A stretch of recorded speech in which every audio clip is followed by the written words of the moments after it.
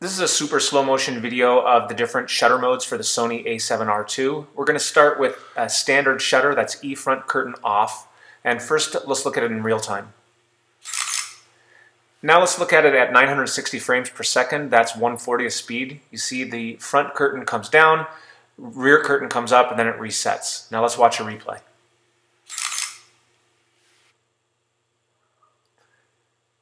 Front curtain comes down, rear curtain comes up, and then it resets. Now let's transition to turn the uh, E-front curtain shutter on, and we'll see the difference. In this case, the front curtain is electronic, so we start with the rear curtain and then reset. So the front curtain control is all electronic in this case, on sensor. It sounds different too. Just to replay.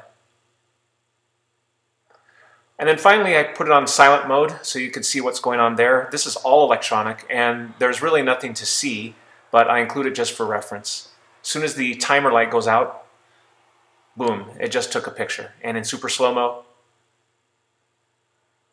boom, took a picture. It's all electronic, nothing to see there. Uh, thanks for watching. I hope this was helpful. Please like, subscribe, etc.